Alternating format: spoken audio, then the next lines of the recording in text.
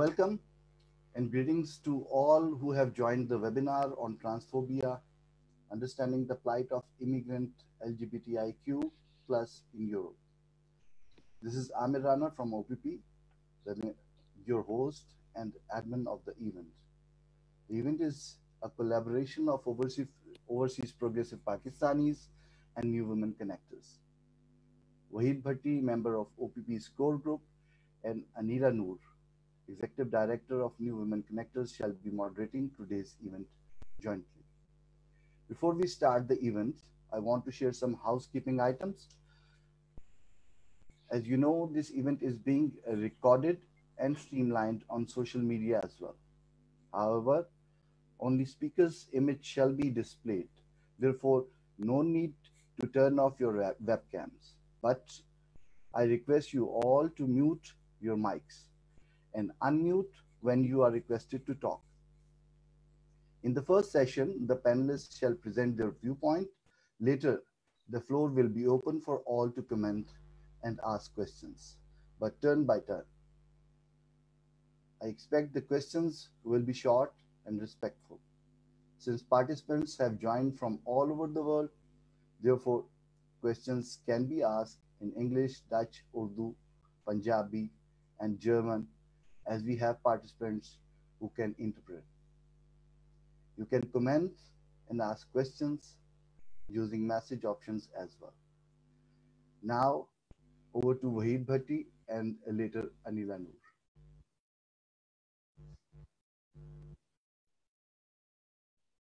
Wahid Bhatti sir, please unmute yourself.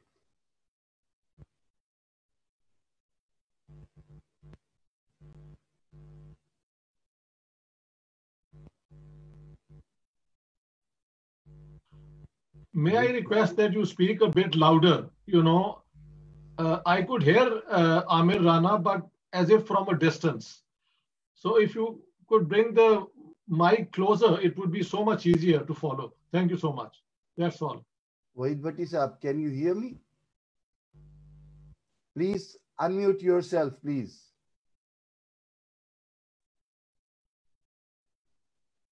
Unmute, sir.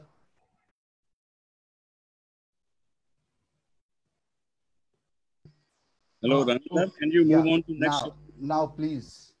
Haji. Uh, Okay. As uh, I mean, first of all, uh, welcome everyone. Uh, I think it's uh, it's wonderful to have uh, discussion on this topic, which we have been trying to do for last uh, several months, and finally, big day, and we are very very pleased uh, to welcome all of you to this uh, very important uh, dialogue. Uh, before, before we uh, go into it, I'll just like to very, very briefly introduce uh, OPP to you. Uh, I mean, you can find all the details on our website, but as you see on the screen, the, the, the, the purpose of OPP, why we started this group, it is a platform for the people of Pakistani origin to promote progressive values in a multicultural environment. Our vision is basically three words, everything summed up in a, in a very short phrase, which is unity in diversity. And this goes very, very well with today's topic. Our mission statement is uh, we strive to eliminate exploitation and discrimination through meaningful dialogues, and with a lot of emphasis on meaningful dialogues. And again, uh, if we are against all kind of exploitation and discrimination, that goes also very, very well with today's topic. Uh, next slide, uh, Uh, just uh, our inclination, because a lot of people ask, again, details are on the website about where do we stand politically, religiously, and socially. And we have just highlighted a few bullet points. Politically, uh, we believe in democracy, uh, we believe in human rights, and absolutely in gender equality. And again, that goes with, with today's topic. Our religious inclination is that we are for separation of the state and religion. Uh, on social side, we believe in inclusiveness, in integration, uh, in tolerance, uh, in acceptance, because tolerance alone is not enough. And we are pro-nature, uh, not just environment, but environmental issues are a part of it. Can you go to the next one, Ranusa? Okay. Uh, now I will hand over to uh, Anila. She because we are doing this program together with New Women Connectors, and now Anila will do a brief introduction of New Women Connectors. Thank you, Wahid Bhatti. Uh, hi, everyone. Uh, I'm so happy and welcome all of you to this discussion. My name is Anila Noor, and I'm a founder of New Women Connectors. It's a refugee and migrant women-led movement, and though the name seems like uh, New Women Connectors is only working for women, uh, yes, we are specifically working for women, but using women's voice, their lived experience and their knowledge of uh, their life, we are uh, talking about how we can change a perspective shift, specifically in the policy debate. And being living in Europe is really a gap we found it. We have as a advocate of uh, inclusion. Um, uh, so we are working to use inclusion rather than integration, and we are trying to give a platform for refugee and migrant specific specifically uh, women, refugee and migrant backgrounds, to come and take policy debate as their right. And we are um, uh, making uh, and translate the policy debate for them. And in return, we are trying to bring their voices, their recommendation, and the gaps as per they identify to the policy on the European level. Next, please. Yes. So uh, as I uh, mentioned, New Women Connector has a very specific uh, objective to uh, represent interest of migrants and refugee in policy debate and the processes which is being engaged either is local, national or European level. And we really want to ensure the uh, gender equality, diversity and inclusion as a woman's right and human's right um, uh, they uh, access their rights and they can be uh, promote their rights as well. And we are trying to contribute to build a positive and empowering uh, narratives uh, in the forced migration. And that's why we are involved in OPP as well. Uh, to join our adventure because we believe we are working towards and within change is really important and key factor if we are talking about inclusion gender equality and equity uh, being a part of a, a different high level, uh, global level network, we have been engaged on the global and European level. Uh, so if you can see, we already be quite uh, engaged in a um, global level. So this is like a quick uh, view of our uh, presence in, um, on the world map. Thank you. And I'm looking forward for this discussion. Well, thanks, thanks, Anila. And as you see that this is a kind of joint event between uh, women connectors and, and the OPP. Let's now uh, get back to the to our today's topic, which is transphobia, understanding plight of uh, LGBTQ where in Europe. Uh, why we have chosen this subject, uh, why we, the plight, because it sounds uh, too negative word. And because we have anyway the, the problems and issues related to queer groups of people. We at the same time, they are immigrants and then it kind of uh, is, if you add up two negatives, uh, then it becomes really a kind of plight. Now, or, when we started organizing this event and this dialogue, uh, it has been a very uh, enriching experience for us. Uh, we, through the process, we got to know many wonderful people like all of attendees, but especially our three panelists today. You will hear from them and hear about them. Uh, we learned a lot from the new friends we made in this, uh, if I may use the word community, uh, for lack of any better word. Uh, we learned a lot about, uh, about the happiness and about sufferings. We learned a lot about new forms of uh, love and new form of hate, about repressions and about acceptance, about fears, but also about the bravery at the same time. Uh, but we received an overwhelming support we never had before about any of events we did. Uh, and that support and that enthusiasm from, from people really gives us hope that there is some hope. And we hope that the humanity uh, at the end will prevail and prejudices will be, will be defeated. Now, we see more and more people talking about that, hey, people are coming out of the closet and they are being more and more accepted. But that's not good enough because we want a society actually in which people do not have to go into a closet in the first place. I mean, there should be no closets at all where people can go in and then come out. So that's that's should be uh, actually abolished. Now, before we move on to introducing our, our today's panelists, I will just uh, uh, read one quote to you by Shelley Wright. And it says, I hear the word tolerance, that some people are trying to teach people to be tolerant of gays. I am not satisfied with that word. I am gay, and I am not seeking to be tolerated. One tolerates a toothache, rush hour traffic, an annoying neighbor with a cluttered yard. I am not a negative to be tolerated. And I think this is very powerful quote because we, a lot of us, we believe that we are very tolerant, that we accept every, everything, we are very liberal, we are very open-minded, but there are so many undercurrents. There are the language we use uh, without sometimes noticing, and we think we are liberal. I mean, this thing came out quite clearly when we are having these discussions and demonstrations about racism. I mean, a lot of people you would have met, I met, who say, I'm not a racist.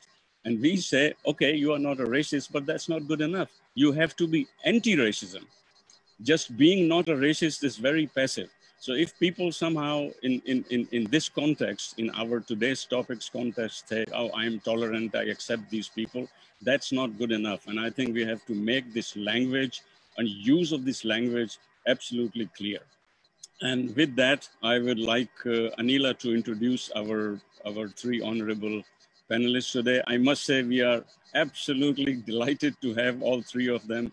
The breadth and depth of their knowledge and experience is absolutely gorgeous. So please, Anila, go ahead. Thank you, Wahid Bhatti. Uh, so as uh, Bhatti Saab said, like we are really privileged and this is my personal honor to have a quite uh, um, diverse and global panelist uh, joining us. So we have uh, uh, first panelist Lilith uh. Uh, actually, Lilith, uh, she is a trans woman with a migration background and she's working uh, for the rights of LGBT refugees and asylum seekers in Germany since 2015. And since November 2017, she's working for the German-wide LSVD Project Queers Refugee Deutschland. Sorry if I pronounce this wrong because it seems like a German word. Uh, the aim of this LSVD project is uh, Queer Refugees at Deutschland is to network the structure existing uh, throughout Germany as well as refugee LGBT activists and to support them in their work, which is very important. So thank you, Lilith, for joining us. And then um, we also have uh, Dr. Laine Munir. Dr. Laine Munir is a legal and political anthropologist uh, examining the intersections uh, sections of gender politics, law, and forced displacement from the global south. As a senior researcher, research for, uh, fellow at the University of Rwanda, she is now uh, taking a comparative approach in examining uh, post-colonial political environment, and she's taking out specifically case studies um, uh, from Pakistan. And in her case studies, uh, she is currently working uh, uh, to make it a part of our book as a chapter. And the relationship of uh, diasporic uh, with transgender Pakistani into the Europe and their family which are back in Pakistan. She also uh, published uh, our, uh, kind of on the drivers of asylum seeker by LGBTIQ of Pakistani migrants and their uh, subsequent uh, challenge which they are facing in EU system. And um, uh, Dr. Laine, she's really active coordinating to UNSW uh, a Kaldor Center of Refugee Law in, uh, in Australia, and she's also part of emerging scholars of uh, practitioners in migration issues. And obviously, she has amazing knowledge in her background of um, education from Columbian University. And our last panelist is amazing. I know her um, very well from last few years, Tina Dixon, and I, I have the privilege to uh, see her activism on the global level where I met her uh, in Geneva. And Tina Dixon, uh, she has worked um, in the area of LGBTIQ refugees and women's rights, both in Australia and overseas. And Tina has a very solid experience engaging with the international human rights bodies such as Tina also been involved um, with the development of global compact of refugees in UNHCR and also even uh, global refugee uh, forum which happened first time in Geneva in 2019 and uh, Tina is really trying to focus on the inclusion and mainstreaming of age, gender, diversity, and this kind of sensitive approach in the forced migration. And uh, Tina, she's uh, currently uh, a PhD candidate and writing thesis on the lived experience of queer refugee women that are viewed uh, through the lens of trauma, theory, and concept of empowerment. Um, Tina has extensively uh, contributed to the public uh, discourse of people from the refugee background in specifically the queer uh, women raising issues such as intersectionality, ethics, and representation. she's a co-founder of the Queer Sisterhood Project, which is amazing, a pair-run sport and advocacy group uh, for the queer refugee and obviously for everyone who is uh, uh, trying to understand this kind of challenges in Australia and outside. So thank you so much, uh, everyone, to be part of our panelists. So I will request Lilith to start this discussion and then uh, Dr. Laine and then Tina. So Lilith, over to you. Thank you, Anila. Um, hello, everyone. Uh, thank you to all of you for uh, taking your time out and uh, registering yourself for this event and uh, trying to learn something new. Uh, maybe I would also learn something new from you people today who knows? Um, so um, I'm a trans woman with migrational background um, and I don't say that I come originally from Pakistan or I say things like that when I introduce myself because trans people it doesn't matter where they come from. Um, they face problems which are universal um, like all around the world. It doesn't matter if you're living in Pakistan or you're living in Europe. Uh, the intensity might change uh, the way you look upon trans people is different from culture to culture and country to country, given their backgrounds. But uh, the discrimination that trans people face, especially trans women, um, uh, have to face is immense in all parts of the world. So as you all saw the video, I hope everybody has that video still in their mind. Uh, it talked about your biological sex, uh, then it talked about your gender identity, then your gender expression. So once you are at the age of four, five, six, you know if you are a boy or if you're a girl, and you want to behave like other boys and girls, and you want to either become like your mom or you become like your dad.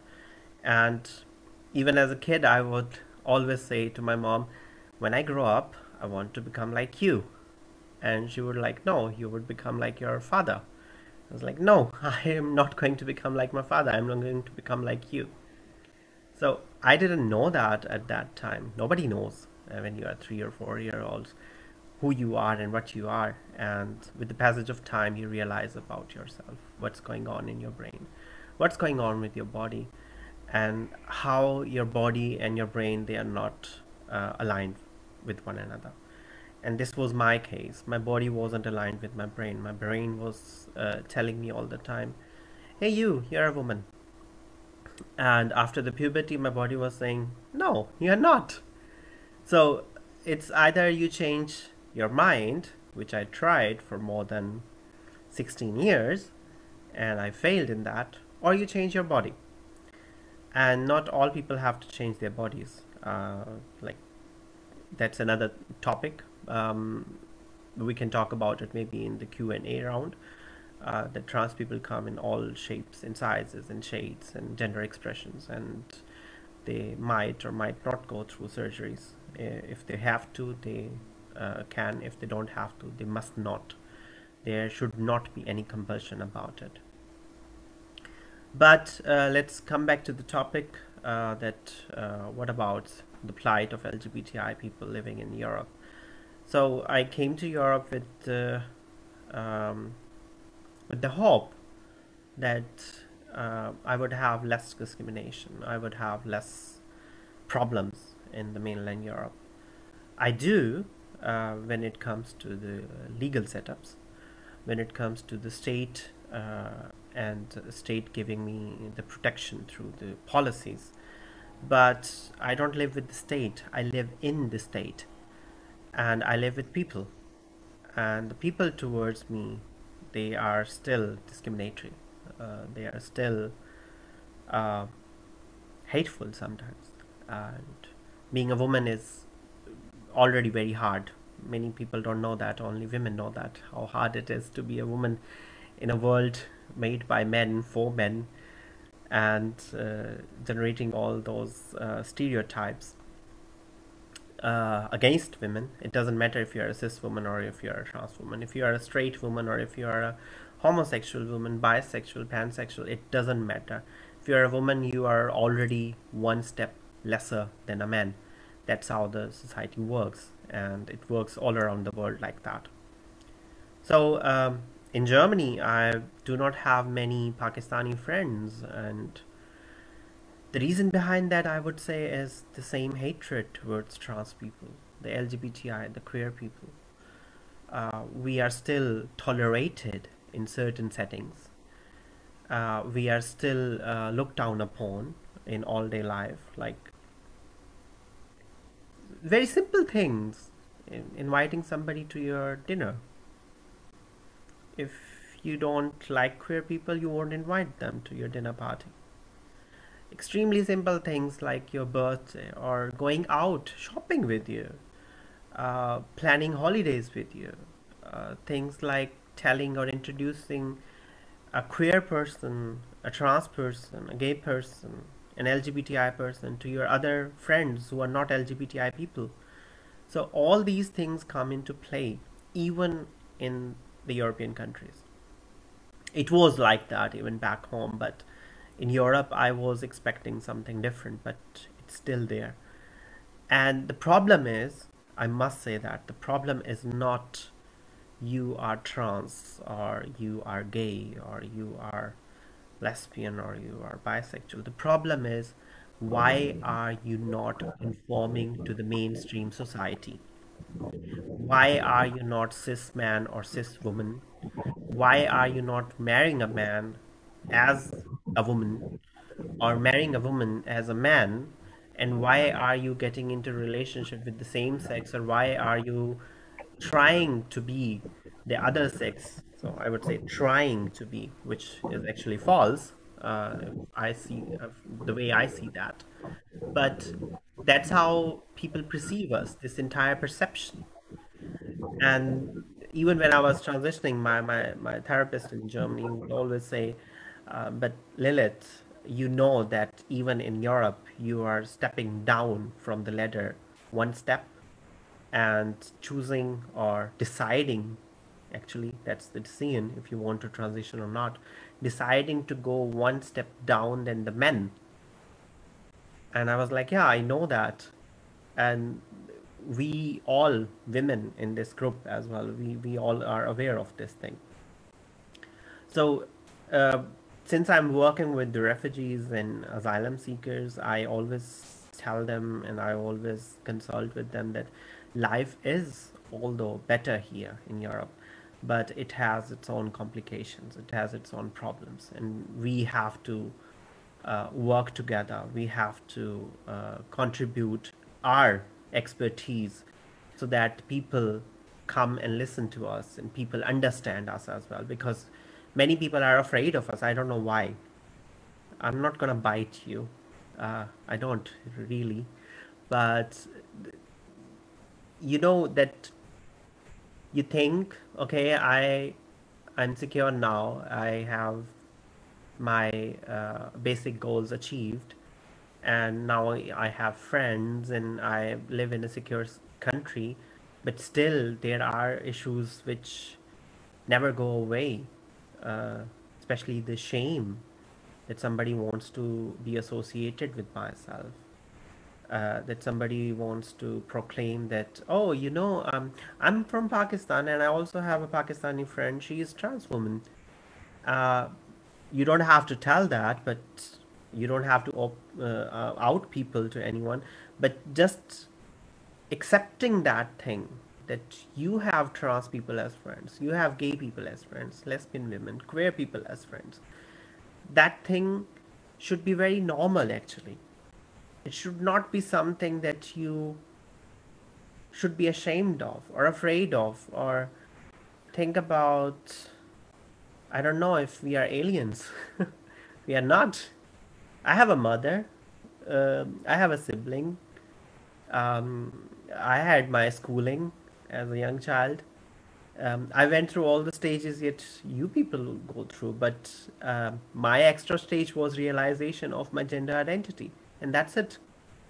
That was something that I had to do extra. Maybe you uh, have your own milestones in your life as well that you had to achieve, which was not maybe your gender identity or your sexual orientation, but maybe there was something which was not conforming to the mainstream society. It might be anything. It it could be anything. So yeah, thank you. Thank you, Lilith. It's really precious and very, I know it's not easy every time to share your own experience. And when you have that kind of ups and down journey and unusual uh, structure of lives, thank you so much. It's really important. And now I will request to Dr. Laine uh, to share her views and her perspective. Uh, yes, Dr. Laine, are you here? I am here. Yes. Thank you the so floor much. is yours. Thank you. Um, I feel really humbled and honored to, to be able to speak after Lilith. Um, I met Lilith uh, several years ago when I was reaching, researching my book chapter, and she has kind of been my guide to understanding the experience of, of trans folk um, across Europe. So I'm greatly indebted to her. So, what I would like to do, I think, is to kind of contextualize legally what Lilith has experienced as an individual so what I want to do is situate the conversation within the Pakistani legal system and then within the international or the European refugee system. So I'd like to give some legal context to what's been said. So um, what I take away from Lilith is um, is that what Lilith has expressed to me is that really the way that we can define social development, cultural development, economic development is how many options people have. And so there's a great scholar of development named Amartya Sen, and he said, a really developed society gives everyone lots of options and good options. And a great way to understand people who have suffered discrimination is the opposite. They have very few options, and the options they have are very bad. So, for a transgender person in Pakistan, um, the likelihood that your family is is understanding or supportive is is very low. So then your very bad option is to move out of your family's house.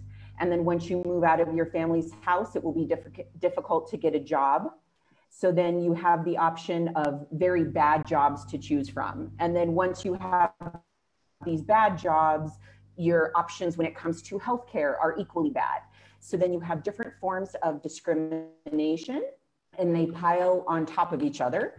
And it's extremely difficult to get out of this cycle in which one form of discrimination. Dr. Laine, are you with us?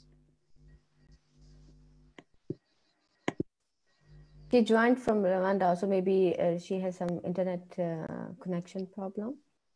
She she has just uh, asked me that uh, her internet is not doing well. So should we invite? Uh, meanwhile, yes, uh, we can request then Dr. Tina Dixon. so Tina, you are here. Um, yeah, I am. Yes, hi, Tina. Yes, thank you. So you are always a savior. so please, uh, the floor is yours and share your experience and your knowledge with all of us because this discussion is very, uh, I will not say very new, but we really want to learn from your all experience. Thank you. Absolutely. Thanks very much, Anila, and everyone for um, inviting me to speak today. Um, I am talking to you from Australia, and I hope that my internet connection doesn't become really terrible. Um, so my name is uh, Tina Dixon. I am currently a co-chair of Forcibly Displaced People Network, which is the first organization um, in Australia to specifically work on the issues of LGBTIQ plus asylum and to be led by people with this lived experience. I'm going to send um, in the chat just the um, links to our social media if um, people are interested in following.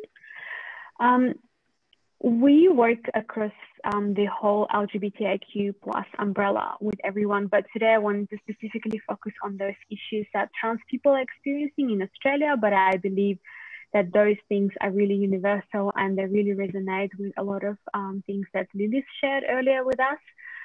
Um, and uh, to do so, to share those experiences, I'm drawing on the report that was published last year as the result of Queer Displacements Conference, which was the first conference um, in our region to specifically talk about LGBTQ plus displacement, because it's really often that we hear about the plight of refugees or the plight of women who become refugees, and it's really rare that we actually do pay attention to those who very often um, flee not only conflicts and persecution, but simply the violence that's inflicted on them for who they are and who they love. Um, so the report highlighted that um, for a lot of LGBTIQ plus people and trans people in particular, there is really a lack of belonging. And here we're talking both about ethnic and diaspora communities because those experiences of homophobia and transphobia are still prevalent and people cannot go to their communities being openly who they are and request support, but also within LGBTQ communities. In Australia in particular, we do see a lot of racism and xenophobia. Um, so that people who are um, here part of LGBT community are not necessarily um, understanding what those with um, refugee status or still in the process of seeking asylum may be experiencing and what kind of supports um, they're requiring. We're also seeing a real lack of decision make, uh, training for decision makers. And this is both in terms of immigration decision makers, those people who are seeking asylum um, coming to Australia on shore, and in particular in the cases of trans people, um, there is, I guess, this um, stereotypes that as soon as a trans person says that they were, you know, born to the wrong body, they're more likely to get a protection visas, um, as opposed to them um, simply expressing who they are um, and not kind of fitting in those very single narratives. But there's also lack of um, training for services. We have a very binary data collection where any refugee service only collects data whether you are male or female.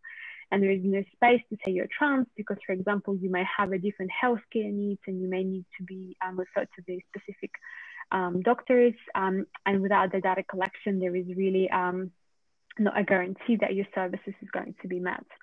Um, lots of um, LGBTQ plus people in general, but also trans people in particular, required to change their documents, to change their names. And sometimes it is for safety reasons. For trans people, it is to reflect who they are um, and also um, do um, change gender markers in their documents. Um, in Australia, both are only possible once you're a permanent resident. and within our migration context, migration system in Australia discriminates between how people arrive to Australia. And so some of the refugees can only get temporary protection visa, which are valid for three or five years. And that means that those people, um, especially trans people, cannot change their names just because they're stuck in this loop of always reapplying for protection once that visa runs out. Um, a very big challenge for lots of trans people um, is quality of interpreting services. While in Australia, most of the NGOs are supposed and required to provide interpreters free of charge, the question of training of those interpreters and their use of appropriate terminology remains really acute. Um, it's never guaranteed that you're going to get a really good one. Um, and most likely, those interpreters are also coming from um, your ethnic community, which increases the risks of disclosure um, in the instances where you actually wanted um, not to come out to your communities.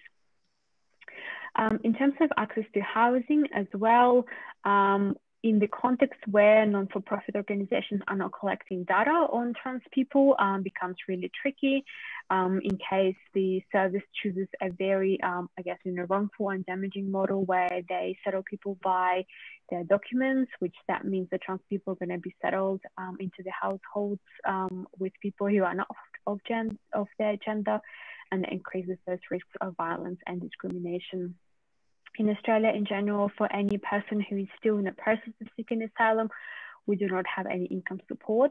Um, and for trans people, that puts them in a particular precarious situation because you've got additional barriers to employment. Not only sometimes it's the lack of local um, experience or English language skills, but it's also, for example, when you're representation yourself, you know, and the gender identity that you have does not match what's reflected in your documents. And so people really find it difficult to find employment. And with no income support, lots of people are driven to poverty, homelessness, and destitution. And then in general, we're still having um, discrimination in all areas of public and private life. Um, we at the moment with the government, they're trying to uh, lobby for the legislation that will allow religious um, organizations and churches and groups to discriminate using their religion and not to observe human rights. Um, we, as the Forcibly Displaced People Network, um, the first organization to be led by people with lived experience. Um, so for us, it's important that any conversation um, on migration, asylum, forced displacement, and LGBTQ plus refugees is actually centering those lived experiences at the forefront of the conversation because I think for far too long in these spaces, we've always been um, talking about refugees, not with refugees, and sometimes in very tokenistic ways, only asking people to share their stories and experiences as opposed to have an equal seat at the decision-making table. So in the last year, we've produced a number of resources, um, which I'm also going to share um, in the chat box. So we've uh, did together with, um, I know I mentioned the Queer Sisterhood Project, which is a specific um, queer refugee women's project. So we produced a cartoon, which was co-designed with women that talks about the experiences of cis and trans women. Um, and it's their stories recorded, um, written by them, recorded in their own voice. And then we made um, an infographics to, um, to prevent people from disclosing their identities because many of them are still um, in the asylum process. Most importantly, I'm sharing the link um, to the Canberra statement. Um, so this document has been developed last year as a result of Queer Displacement Conference. This is the policy guide that talks about very high level overarching issues that LGBTQ plus refugees are experiencing around the world. And it also sets out a number of recommendations for people to implement, to work towards. And sometimes it depends on what type of organization you are. For example, you can pick one particular area like access to housing or access to employment and work on that. And so we're asking people to affirm the rights of LGBTQ plus asylum seekers and refugees to safety and justice by signing on to this statement and then um, working to implement it. And later in the year, um, um, probably in November, we're going to be hosting a webinar which um, explains in more detail what it actually means to implement um, such statements and what different steps um, different organizations, but also individuals can take to make sure that their services are inclusive and that we're working towards um, a society where you can be who you are and have your human rights um, respected. And probably in the last five minutes, what I wanted to focus on um, is also to um, talk a little bit on what can the various supporters do? And here I want to focus both on the ethnic and diaspora communities, but also on organizations, or whether you're just an individual who is interested um, in upholding and supporting their human rights. First of all, if from anything today that you hear, you were to only take one thing, I wanted to say that LGBTQ plus people existed in all cultures and across all societies. And very often we actually have to blame for this homophobia and transphobia the colonization processes that brought those legislations in various countries and really policing people's um, lives.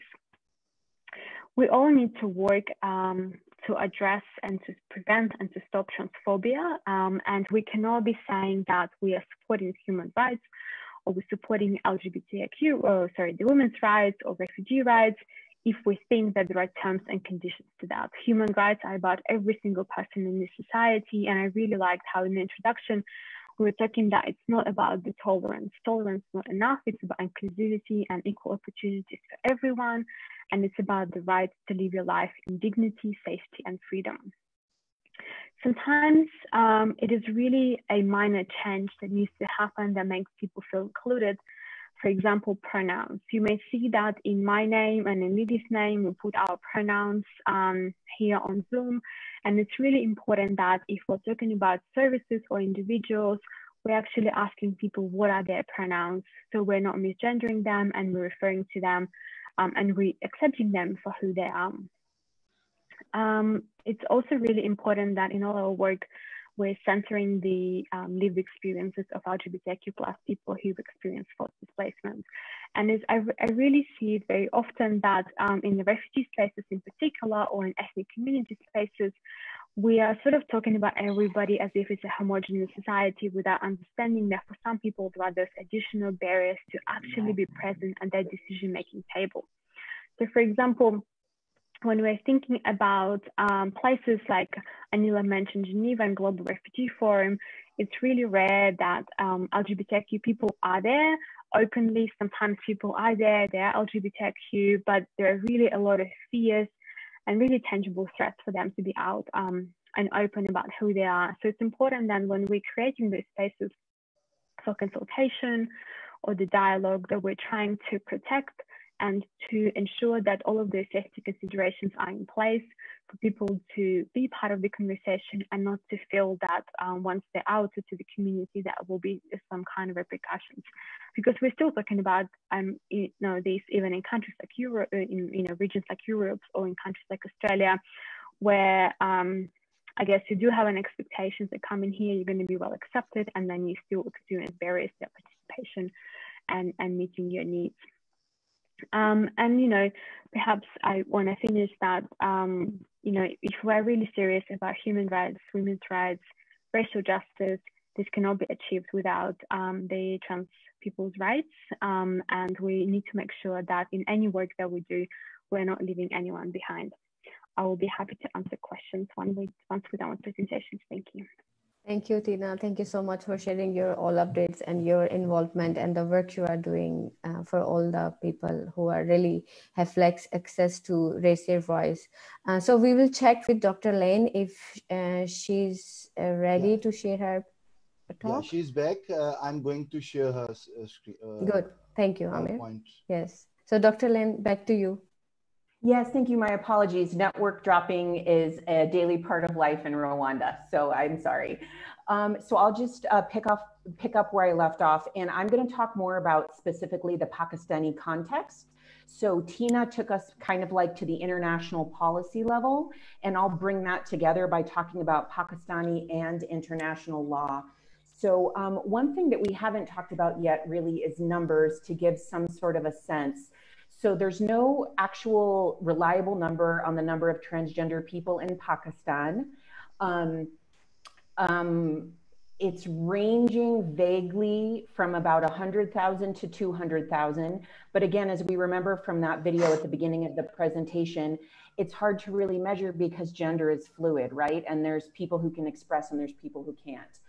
But um, the United Nations Human Rights Commission did publish a report saying that around the world, one transgender person is killed in a hate crime every two days in their um, study from 2008 to 2014 to give you a sense of um, transgender um, violence across the world. And that, that's only counting um, homicides, that's not counting other forms of violence. So when we bring that down to the Pakistani context, the best way to understand Pakistan is that it seems to have a par very paradoxical relationship with the transgender community. Um, and there are some prizes, there are some surprises that come out of Pakistan.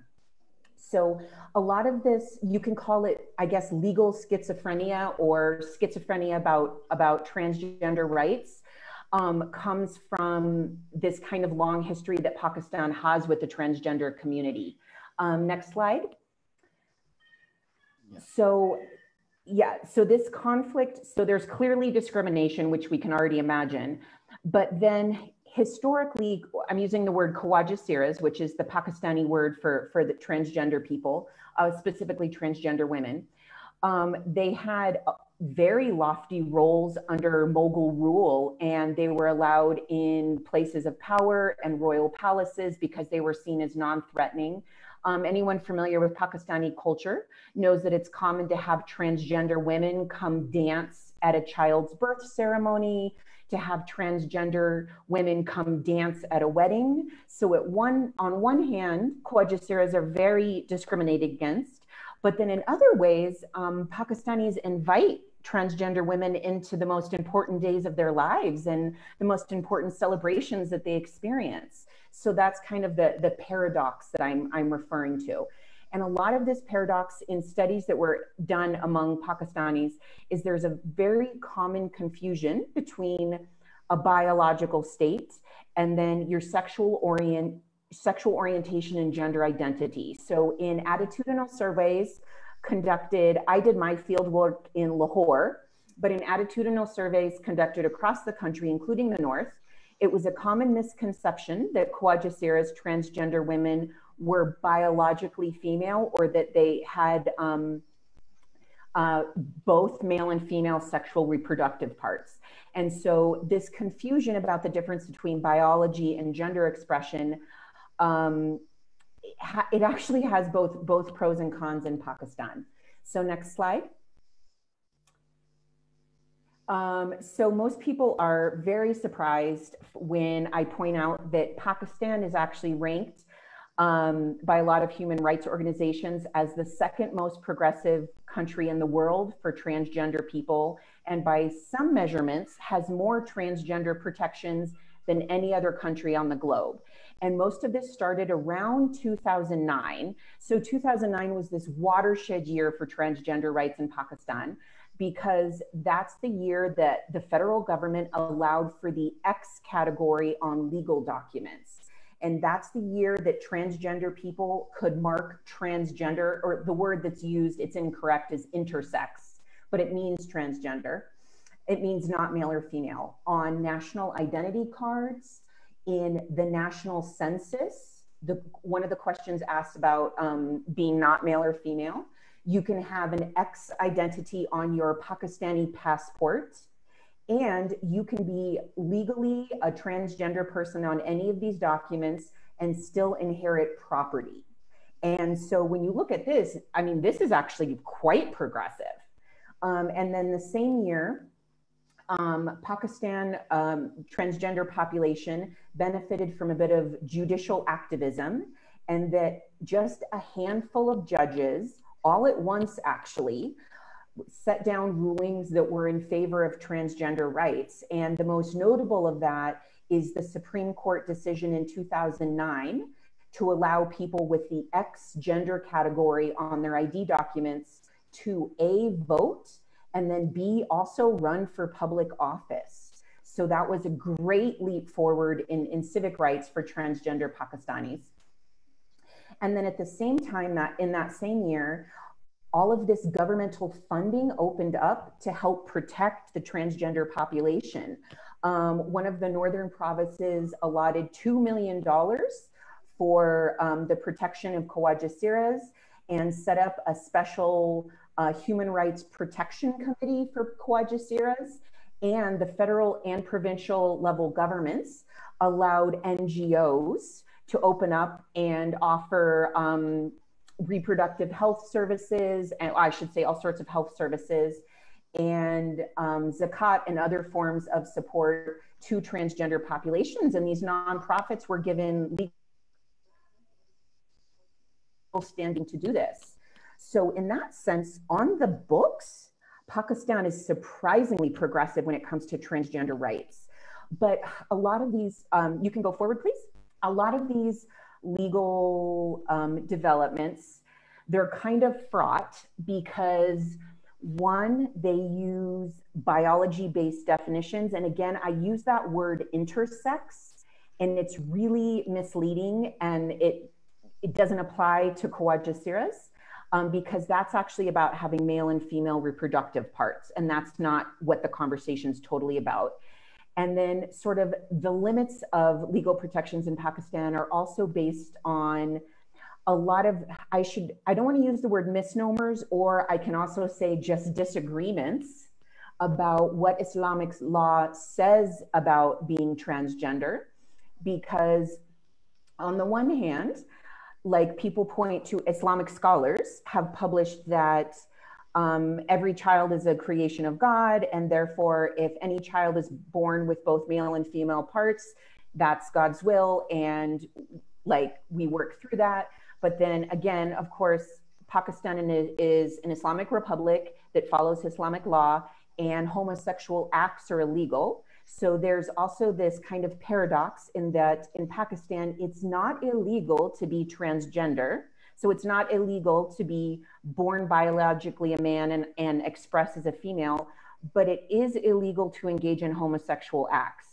And Pakistani law has not quite figured out how to reconcile kind of that tension because in, in many instances, the, the two are correlated, but they're not necessarily the same. So, so Pakistani law and Sharia law, they're trying to figure it out still because it's a relatively new debate. And then in general, attitudinal surveys across Pakistan and with transgender women who um, have tried to engage in the legal system to push forward their rights, there's a general distrust of courts. Um, all census surveys show that people typically don't think courts work fast enough. They don't think they're fair. Um, and they just don't think that they're an effective mean for like pushing forward the human rights agenda. So if there's one thing that um, I would like for my presentation to put forth, it's that Pakistan probably, I would argue, of any country in the world, has the biggest gap between transgender protections on paper and then the actual social and cultural treatment of transgender people in society. Um, next slide, please.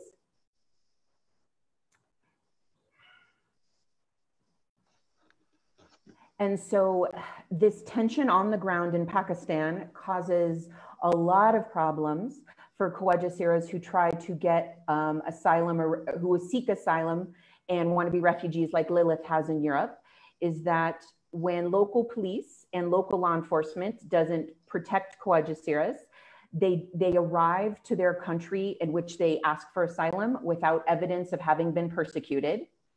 Um, international law and study, um, Tina talked about this a little bit, is being either homosexual but cisgendered or being transgender. There's a difference between visible and invisible categories.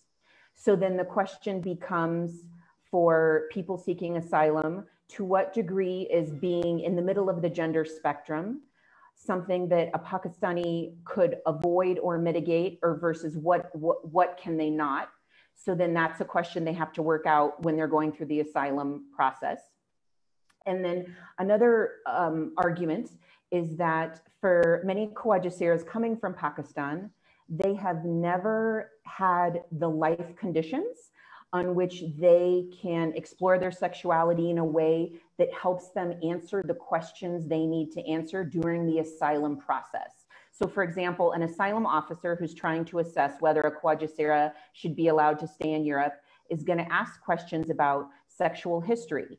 But if a, a transgender person has been in a place with no sexual freedoms, they wouldn't have had the chance to have a sexual history that would qualify them for refugee status.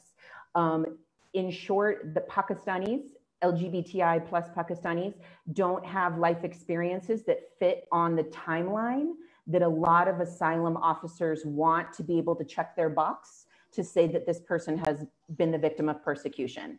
And then what's very common in, in Europe is that transgender Pakistanis are then housed with other Pakistanis who were seeking refugee status for other reasons.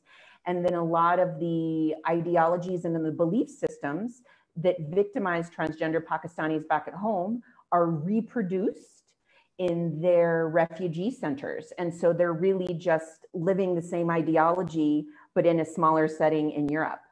Um, so then one of the, in some of my consulting that I've done um, for a Greek NGO, one of the, the tension that arises out of this is that if you look at Pakistani law on paper, it looks protective of transgender people, but then transgender Pakistanis arrive and they tell a story that is not compatible with all of these legal rights on paper. So there seems to be, a, there's a, a, paradox that has to be worked out.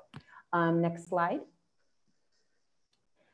So the question I think fundamentally that Pakistan shows is that legal protections for transgender people far outpace common perceptions of the transgender community.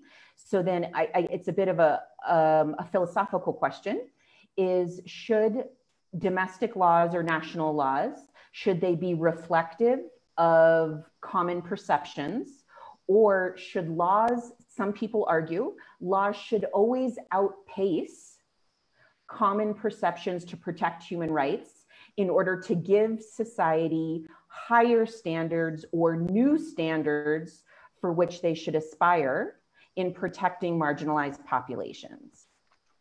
Um, so I'll leave, I'll leave with that thought and we can open up maybe to Q&A or, or another summary.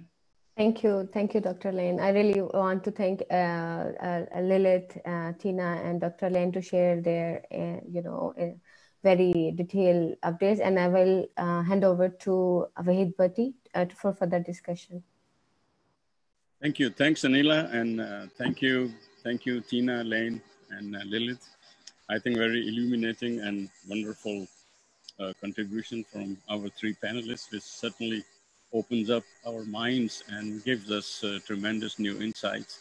Uh, without losing any time, would like to invite the audience uh, to brief contributions, if you wish, to make any remarks or to add something, uh, anything, your views, uh, in addition to what uh, our panelists have said.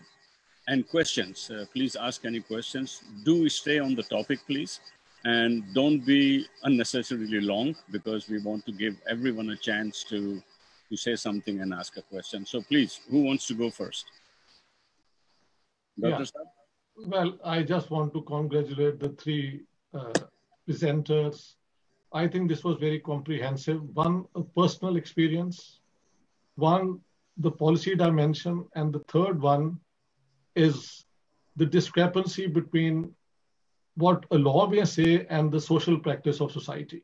But I will, since there are so many people who can, uh, who would like to comment, I might have other things to say. I'll just say, I'll, I'll just uh, comment on the very last sentence the last speaker spoke about, whether the law should reflect uh, what are the shared values or aspirations or prejudices of society, or that law should lead the way. I think the second is the obvious alternative for us because, for example, uh, in, in, in Europe, the death penalty was not a very popular, its abolition was not a very popular demand.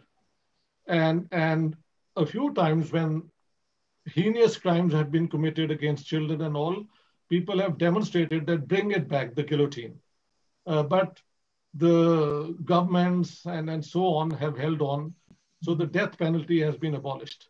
So I don't think there can be two opinions because what if it were so simple that society reflected the same as the modern standards of human rights, we wouldn't have a problem. Human rights are there to lead the way.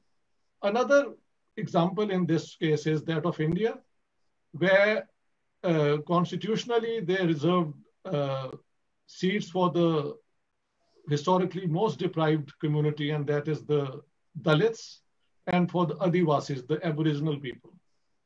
And it was backed by political action, and now you have a very uh, uh, vocal intelligentsia from these sections of people which are protesting and uh, calling for reforms because there's a huge gap between what the state says and practices maybe in the large in the urban areas and when you go to the villages. So to catch up is what is needed. I think the third dimension is the human rights movement has to step in, the civil society, to, to narrow the gap which exists. And in, I'll just say one thing because I don't want to take more time. In the case of Pakistan, I say Pakistan is not a coherent state.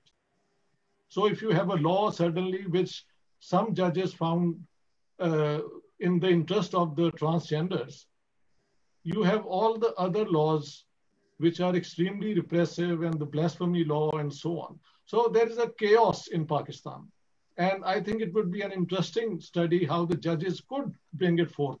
My suspicion is that the Sharia is not clear on this. Just like, for example, rape is not discussed in the Quran.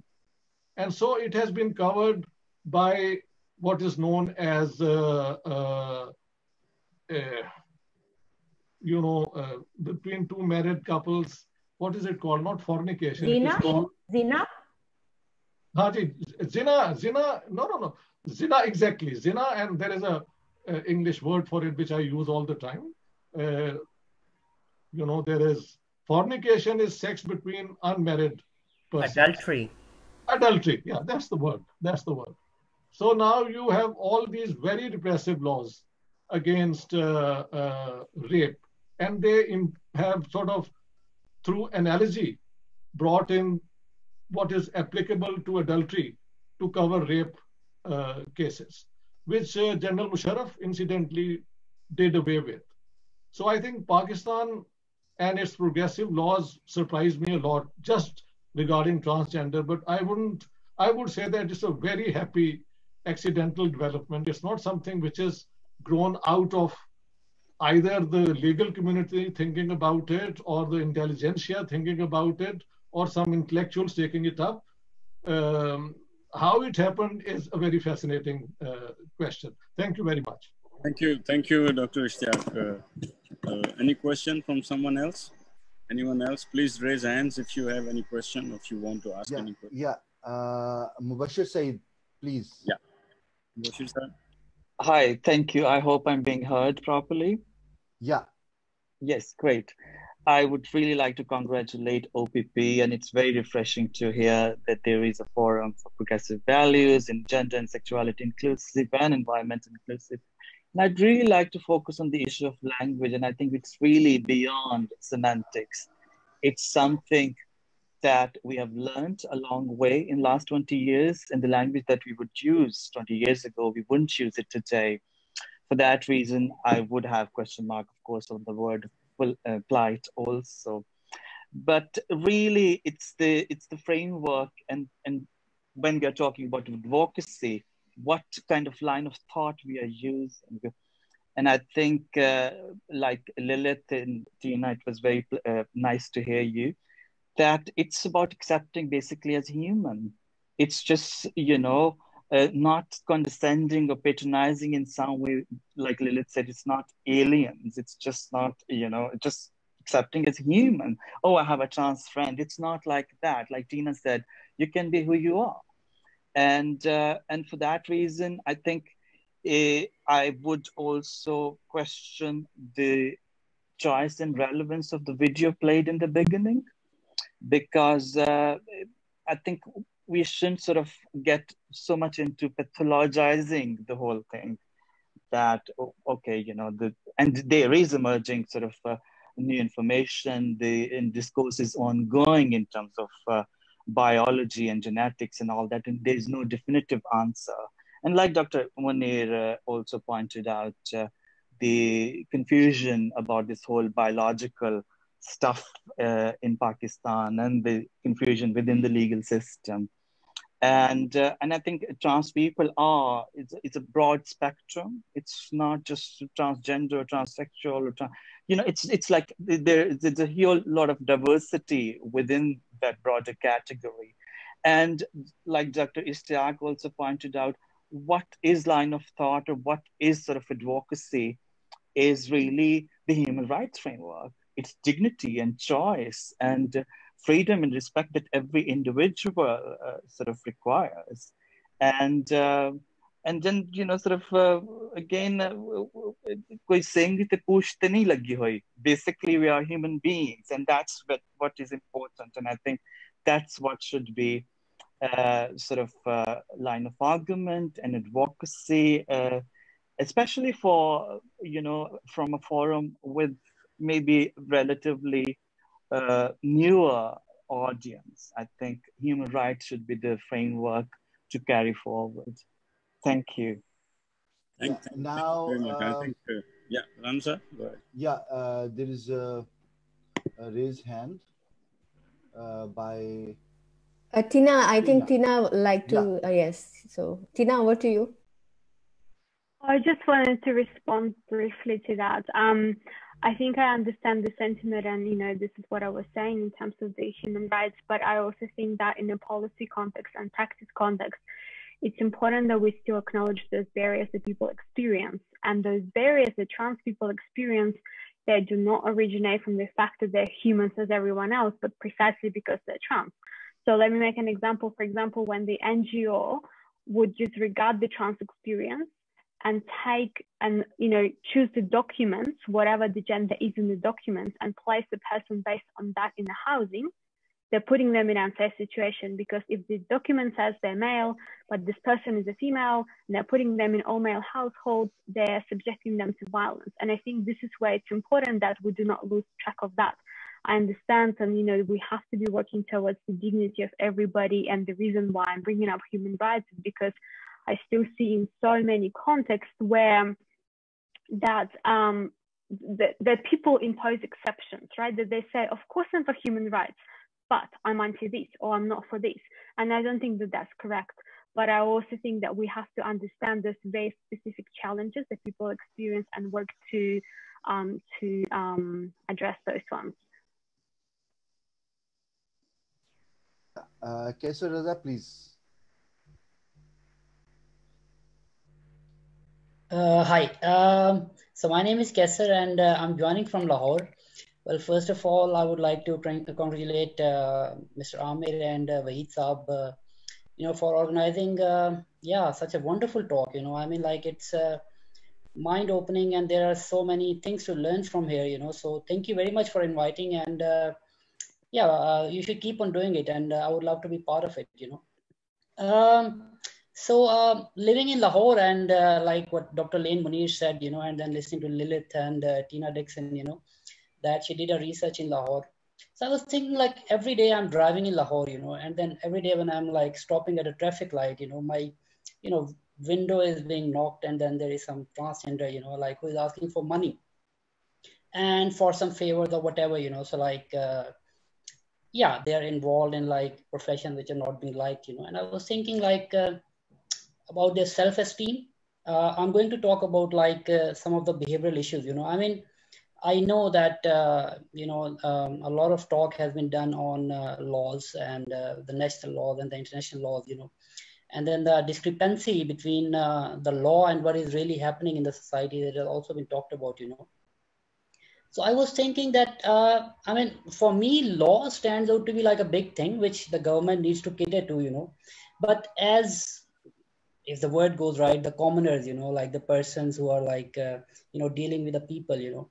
What about social cultural and religious intervention which could could can be done on small level you know in order to improve the lives of uh, these people you know? And i must say that uh, you know the way lilith was speaking and looking at her you know being so bold confident beautiful you know it's so refreshing to see that you know. I mean uh, and i would love, love to see like these women or transgender people on the streets to be like that you know? I mean like why can't they have like the self-esteem? They can't why can't they have the power and everything you know? Like everyone else has you know? I mean we shouldn't even say that. There should be a normal you know which is not normal right now. I think that is why we're getting together you know? So it's a yeah it's a it's, it's a feeling you know? Like that you get that there should be uh, something uh, being done you know? And I'm, I must, okay, uh, I'll not take much of the time, but these are some of the views which I would really like to express, especially, uh, you know, living in Lahore and teaching in a university and like talking to people, you know, I must tell you that here people, you know, I mean, they have this mindset, most of the things that emanate from the religion, you know, as we all know, you know, I mean, people are very strongly sticking to the religious views and then obviously you know the cultural views they also kind of become reflective of the religious views in certain ways you know. So like if Sharia is able to, you know, like, I don't know, if we are able to interpret Sharia in a way that is, uh, yeah, helpful for the transgender people, you know, and then that might be helpful in transforming the behavior of the people, you know, um, yeah, towards making people um, understand or be sensitive towards, uh, you know, uh, yeah, the feelings of the transgender people, you know. So I would like to propose something actually here, you know, like uh, instead of just talking that why can't we take on small interventions you know like uh, i'm like a professor in the university and i do research and i collect data uh, mainly about community medicine which is my field you know but listening to this talk i was thinking maybe i should start collecting data about like my own field you know like uh, the prevalence of cardiovascular disease among these transgender people you know so yeah, this this is this is what uh, uh, my feeling is. You know, uh, well, thank you very much. I'll I'll stop talking and give the floor back to you. Thank you.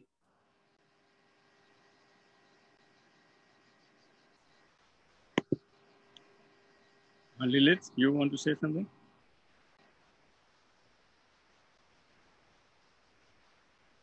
Yeah, thank you. Um, um, I listened to all of you guys and thank you for your uh, views and your suggestions. Um, I will go back to the. I have three things to say here, so I will go back to the uh, original talk of Dr. Laine Munir and point out two things. One is factual, and the other one is uh, mythological. Um, so uh, factual is about me. Um, I fortunately didn't apply for the asylum. I remember when we were talking about her research, I was thinking it as an option, but uh, then I left it. And the reason why I left it, that I will come back. Um, and she mentioned one more thing. There is a paradox in the Pakistani society that uh, trans people are not accepted as a part of the society. But when it comes to uh, marriages or when it comes to childbirth, trans women particularly are invited and are asked to give blessings and dance and um, like give make it a festive uh, occasion for the entire family. I think that goes back to the Hindu mythology of Bhagavan Ram. Uh, um, giving the power to the trans people and the intersex people that they can now either bless or they can either uh, give curse to the people. And that's that's very common in all of the south asia. We know about it. Uh, they are always like do not get cursed by uh, Sera because that will go direct to the heavens. So that's thanks to Bhagavan Ram. Otherwise we wouldn't having that as well. Um, uh, but yeah so the second thing is uh, we talked about patho pathologizing the trans people or intersex people.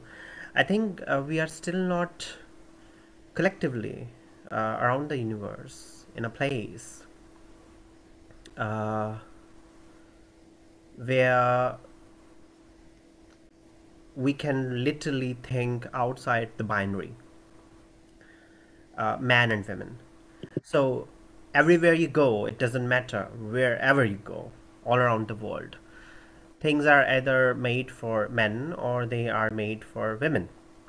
So I have a very uh, small example. In 2018, I got really sick, extremely sick, uh, and I had to be hospitalized here in Germany. And uh, they didn't realize in the beginning that uh, um, I'm a trans woman but what happened that uh, as soon as I told them that I am because I had to uh, tell them what kind of hormones I am taking what kind of medication I am on uh, what they did was they started to have a discussion should I go to the male ward or to the female ward? And that's I'm talking about Germany 2018 and I come from a very privileged place.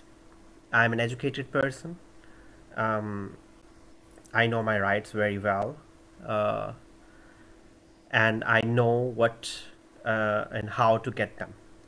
So I told them, okay, put me in the male ward. I don't care, but then you have to give me a written document saying that why you put me in the male ward, and then we can talk about it later once I'm healthy enough.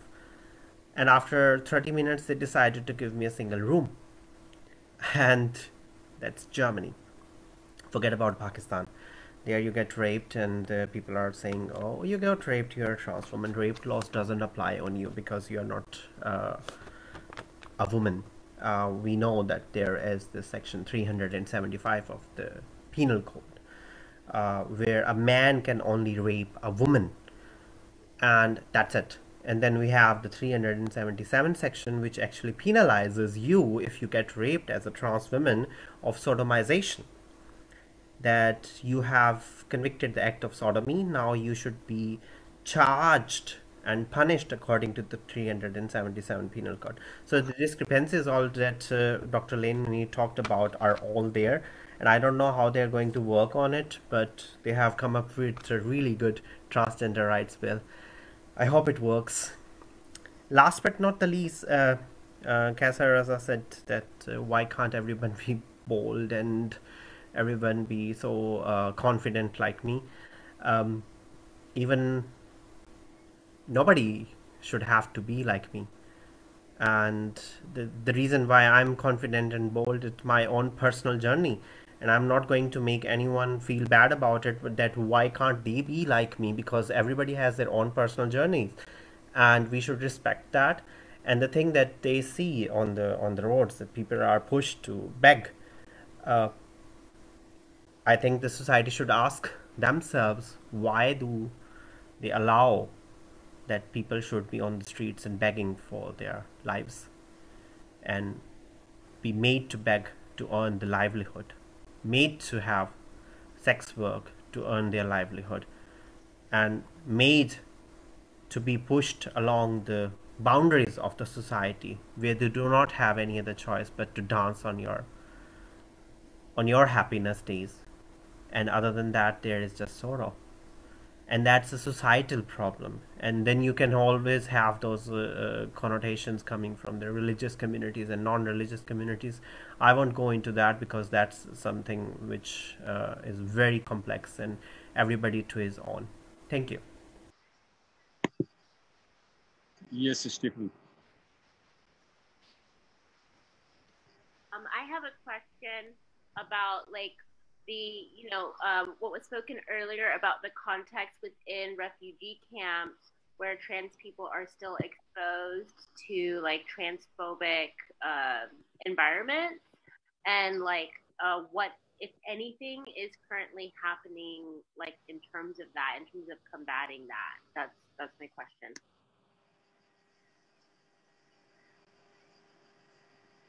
Um, Tina, do you have anything to say? Um, I was just going to respond. Sahar, good question. Um, I know that Germany is, uh, Lilith, maybe you can clarify, is the first and only country in the world to create a transgender LGBTIQ plus only refugee welcoming center. Um, they were in talks about it, and last I read, they were trying to find funding to build this queer refugee center in Germany. Lilith or Tina, have you heard about the status of this particular refugee center?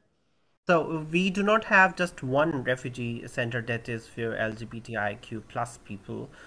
Um, there are a lot of them. Uh, we have one in Cologne. We have a couple of them in uh, Berlin. Is there one? There is one in Hamburg, in Stuttgart, and uh, the other states in the Federal Republic of Germany are also joining in. But the problem is um, the Germany is a federal state, and all the federal states are actually responsible for the housing of uh, LGBTI and other refugees. It doesn't matter which refugee you are.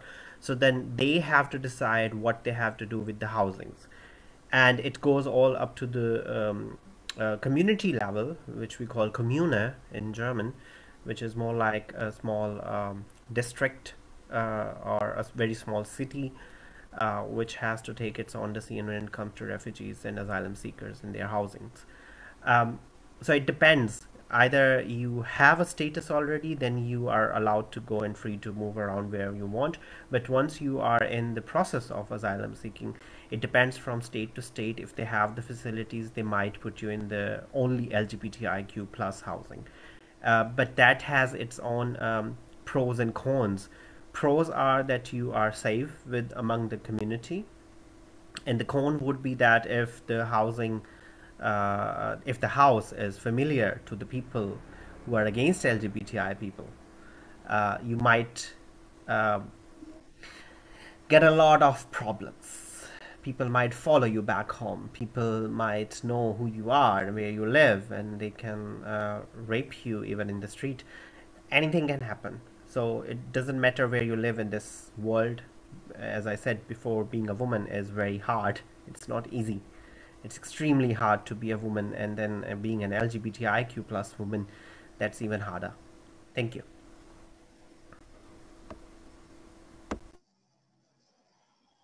Tina? Um, for Australia, it's slightly different because at the moment, um, the only people who are placed in immigration detention are those who um, come to Australia without a valid visa. And in the past, um, there was lots of people coming um, from South Asia by boat, and then with this government and lots of really terrible policies um, that seem to stop or at least publicly stop because they're turning boats away. Um, however, when people are in detention, there is nothing there that specifically is for LGBTIQ plus people, no protections, no special zones. Um, I haven't really heard of um, cases of trans people in detention, but those, for example, queer women, while they were in women specific sections where they sleep, for example, the all of the communal areas and mixed gender, which exposes people to lots of risks. And there is no training for detention staff. There is no um, advertisement, no groups, no anything, no connection to any organizations for LGBTIQ people. I think the issue as well is that um, in Australia, LGBTIQ plus sector does not really engage in any refugee work at all for most part of it. Um, and so it becomes up to, you know, those people, um, those refugee advocates who are visiting detention centers to think and identify people, but that's um, really patchy and, and not necessarily um, happening and we don't have any specific housing programs as well. Um, housing that's provided to people um, is mostly provided by charity organizations um, if there are places available because in Australia any social housing is only um, for permanent residents or citizens. So a lot of people are left on their own, especially if they, so very often people really fear to disclose who they are to um, refugee organizations, that fear of discrimination and persecution, whether that's real or not. Because of those years of trauma and violence, people um, treat those organizations as places who can potentially discriminate. And so if they do not go to their services for support, they're just completely left on their own um, in the place. Yeah, Zedi, uh, can you please unmute yourself? Yeah, it's already done. What's mark again? So, can you hear me? Yes, yeah. yes. Okay. Uh, actually, I have a question to Lilith. Uh, the subject of our session is transphobia. Transphobia. Uh, transphobia is, of course, is visible in Europe, but not as uh, horribly like uh, India or Pakistan. Not India, but in Pakistan especially. But the thing is, uh, we we can uh, point out the problem and the misery of uh, our society and how the society is behaving against transgenders. But I think we can we can also suggest some solution. For example, what I personally I'm thinking in theocracy, we have two different kind of behavior. Once we see in Iran, Iran is uh, is supporting uh, um, uh, transgender surgeries. I don't know the reason behind. Lilith can can explain us. But in Pakistan, we can use um, uh, theocracy, mullahs, priests, imams. They have to talk in a, in a prayer of Jummah and say to people, these are human beings. The God is, is a is just like us. So we have to respect uh, them with with uh, care and uh, as a human being. So uh, because I am very touchy against, uh, violence against transgenders in Pakistan, I have personally seen sometime violence. it brought them to death. It's it's it's horrible, really, and I'm missing this this this uh, issue in this session, uh, how people are uh, bringing them to death. So we, we can't ignore it. So this mic to Lilith actually. Lilith, would you like to respond to that? Or? Yeah, sure. Um, okay, so I will have to uh, do it uh, chronologically. So um, first of all, Iran. Um, Iran does uh, assist transgender people to go through their surgeries and uh, help them have their uh, sexual reassignment surgery, so SRS, and pay half of the money when it comes to uh, the fee. Uh, but the thing is, uh, Iran is also a country where um, gay people especially gay men and lesbian women. If one of the gay couple uh, is more feminine or more masculine, then the feminine counterpart has to become a woman. Or in a lesbian relationship, the the the more masculine lesbian woman has to become a man. So it's not helping anyone actually, to be honest. And then the thing is, not all trans people have to go through surgeries. We must understand this that it is not compulsory it should not be compulsory anywhere around the world that people should be asked to go through surgeries unwillingly. If they want to very good. If they don't want to nobody should push them. Because you can die even uh, and people do die if they do not get proper uh, medical attention. Uh, then the the second thing is that uh, uh, the death of trans people. We must also know that that there are trans men.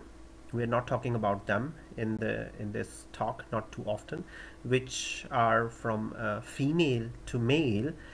And once you become a man and i know so many trans men around the world you appear as a man publicly and you you are taken and perceived as a man by everybody you do not get the same amount of violence as trans women do.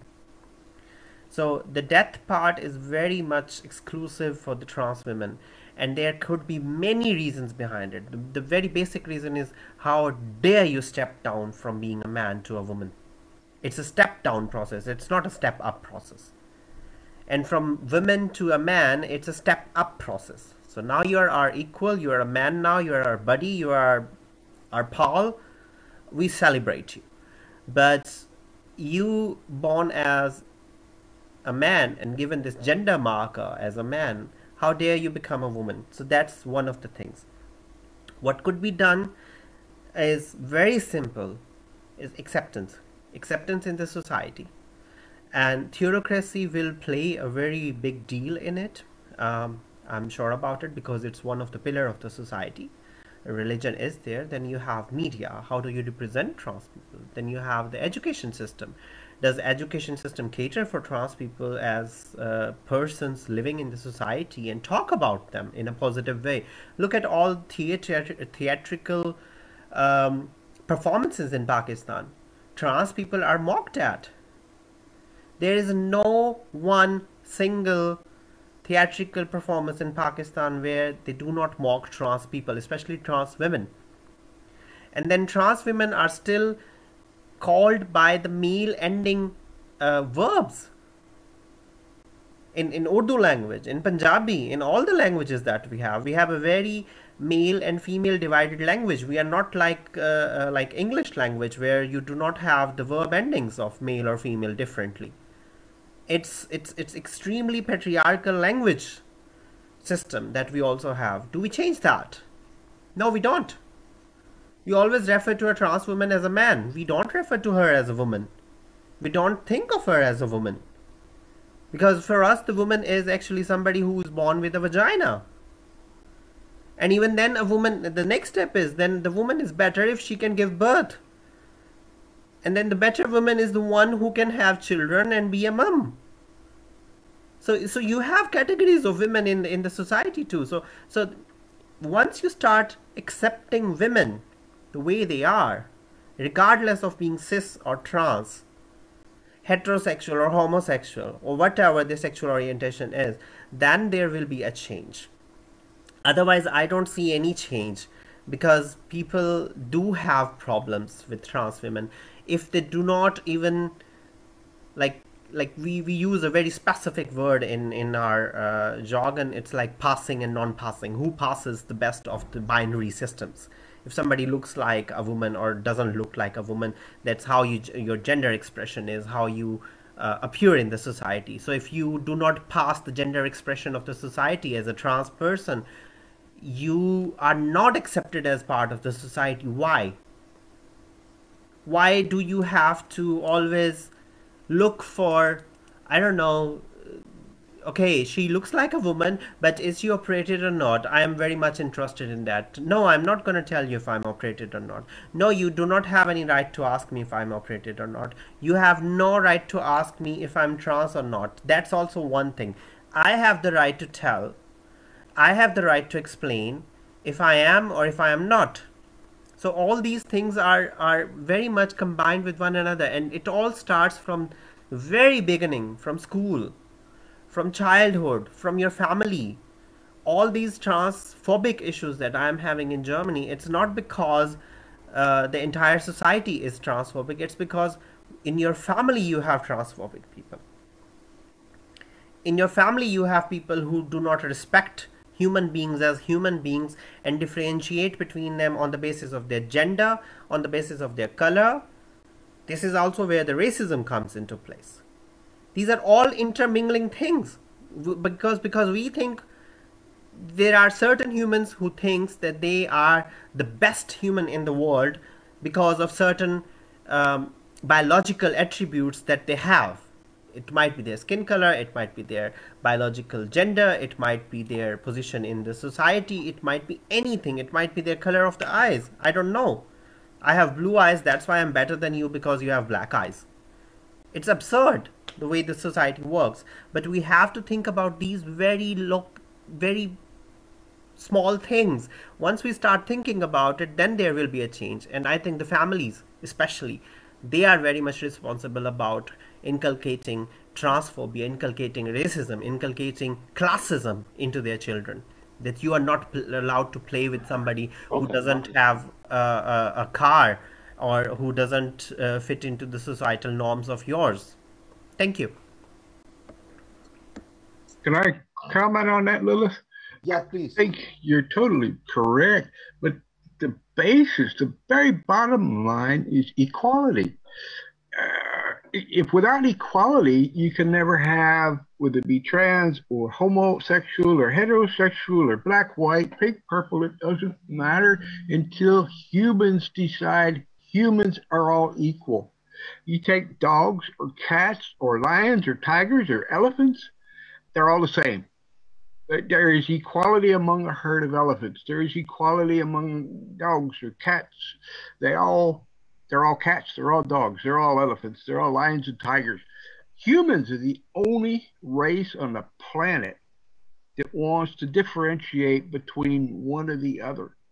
And, and does a cat really care whether another cat has brown hair or gray hair or and why do humans do that? And that's what needs to be taught to all humans from birth on is that we're humans. That is our race and that is what we have to work with and it doesn't matter what color what what what anything the second thing i think somebody mentioned iran and from what I understand, is the mullahs in Iran had decided that the operation, the sexual operation, was a cure for homosexual homosexuality. If you're a homosexual, you had the option to cure yourself by becoming the gender that you wanted to identify with. That was the that was the the mind the, the meaning of the their their action on that. At one time, I think it was full paid for. Now, Lilith, I think you said it was half paid for, but it doesn't really matter. In Germany, it's paid for by the health insurance, so it doesn't really matter. As far as acceptance, I find I'm not the best looking woman in the world, and I'm not the not the youngest one either. But if I look and really look at people, I see people being judgmental of everybody. Period and it's just you know there's a woman on the train and she looks at me and has this funny little look on her face like yeah how dare he or she or whatever and then she turns around and sees someone else and has the same expression i'm like okay no problem you're just that way i can understand that but that's here i don't know why but stuttgart seems to be extremely tolerant and welcoming in everybody that's what I. That's my personal findings. I don't know. Come on, Stuttgart, everybody. Thank you. Yeah, uh, Mesha, Mesha, you have raised your hand. Hey, I raised my hand. Can you hear me? Yeah. Yes. Good. Okay. Um, first of all, I would like to thank you for the beautiful and informative uh, talk. Secondly, if you hear any funny noises in the background, I am uh, sorry for that in advance. Lastly, I had a question about the healthcare system discrimination, which is, I think, already answered by uh, Lilith. However, um, I understand that there is a general stigma uh, against the transgender people. And but what uh, Lilith just mentioned to step up and step down, my question is about that. Um, when there is a trans woman or a woman who is stepping up, sorry, a trans man, I meant, who is stepping up to be a man, um, why would it be different? Wouldn't it be the same stigma and same uh, phobia against it?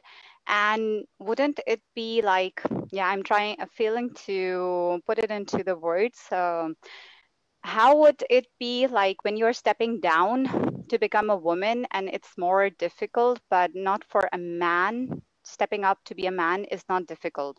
Secondly, is that uh, she mentioned about the discrimination against uh, in the medical system. Um, does she see, like uh, she mentioned one example, but my question is about when she goes to a general practitioner and is it the same against all uh, the people, like transgender people? That's it. Lilith, would you like to answer? Yeah, sure, sure. Sorry. Um, so um, the stepping up and stepping down uh, thing, it was a very private thing, and it was a conversation between my therapist and myself. Uh, and the second thing is also the statistics, which indicate that trans women get killed every two days uh, around the world, uh, at least, and that's the homicides that we have. It's all embedded in the patriarchy. Um, patriarchy is responsible for that.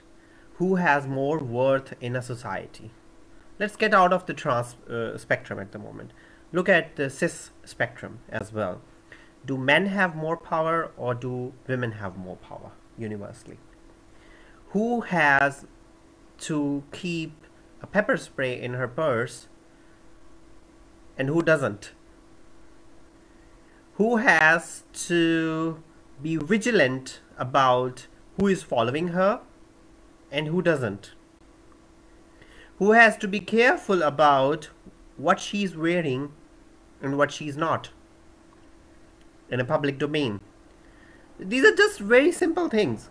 So the, the, the, privilege that comes with a male appearance or with a male body is different than what it has uh, with, with a female body or with a female appearance and that's why I think there there is a discrepancy between men and women. It, it, it is still there. We all know that trans women and trans men are not the majority around the world. We are just a very minute minority uh, within a minority, which are the lgb uh, people. Uh, and the second thing is that in in the journal uh, practice, uh, there are literally no, uh, I would say, um, what was the question? Sorry, uh, discrimination, right? So in the in the journal uh, practice, there are no discriminations. Like uh, we, I have my doctors, uh, my GP, and they are all okay with it. It's always about when you have gender segregation, then the problems comes up. So if you have gender segregation around the world, men and women, and then appears a trans person who is still not operated, but the document says, oh, female. Uh, the biology says, no, not. And you have to explain that to the doctor, then they get confused. Even in a country like Germany. So in Pakistan, then there are other issues if we talk about. So so it's it's it's very complex. And the, the basic thing I will go back again, it's like the general perception of trans people in the society. How do we perceive trans people?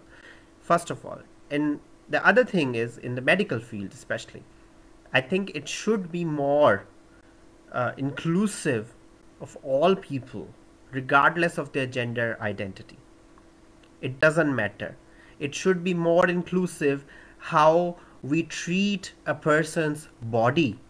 when this body has any ailment rather than going into the factor what does a body appear like doctors do know how they have to tackle about certain things and and going in an emergency to the doctor and then they are deciding whether to put you in a male or female ward that was the most absurd thing i ever ever ever experienced if i might add to that a little yes, bit please, um, yes We've had a recent study conducted in Australia on the experiences of trans and gender diverse people accessing healthcare. So the study comprised of over 500 individuals, and um, about a third of them reported that they always had to educate their health professionals on trans um, health issues, which I never think is helpful when you are there going seeking help. Um, one in five people had um, the general health care refused to them. 14% were verbally harassed, and 6% um, were subjected to unwanted sexual contact. So even in uh, places where we do think of healthcare as that system that is not going to be discriminating with a lack of appropriate training, appropriate specialization for GPs, general practitioners, um, those experiences are still happening. Um, when we think of this um, specific access to healthcare, for example, it is um, really not common where um, trans men um, are not referred to cervical um, cancer screening, for example, and then people um, not necessarily tracking their health. So there's lots of issues where without an understanding of the doctor, they're going to miss out on those very key preventative measures of their health care because, um, you know, they're sort of glossed over and excluded in the system. And I don't think it is so much here about um, you know, whether you're a trans woman or trans man, it is more about the willingness of doctors to learn and to adapt their knowledge and their practice to actually meet um, the needs of their patients. I just wanted to ask this point was mentioned earlier about the realities of the legal versus the actual experiences of Pakistani transgendered people. Uh, and I'm wondering, like, how much of that knowledge that is being um, reintegrated into asylum laws and practices in Europe. So just maybe the current state of that.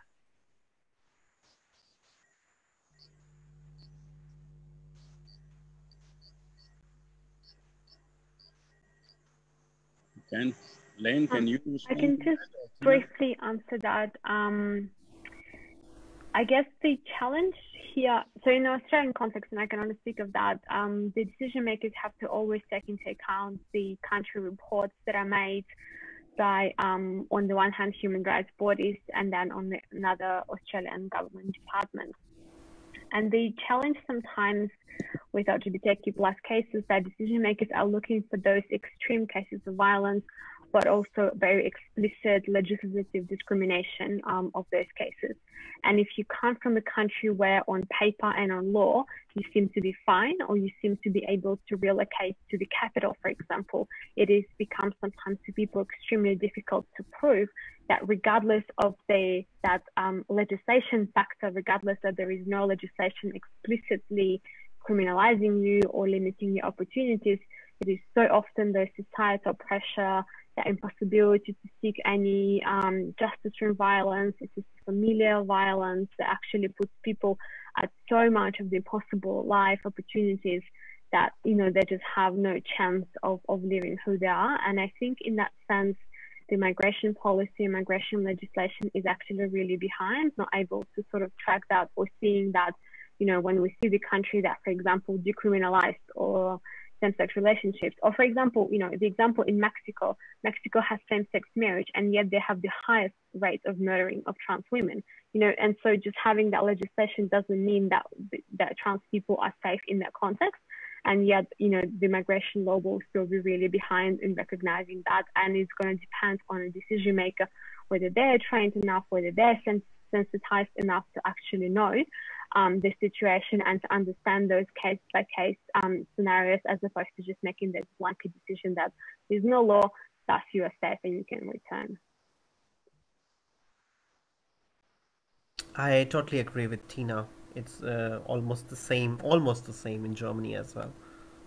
Uh, Mr. Said, uh, can you please unmute yourself?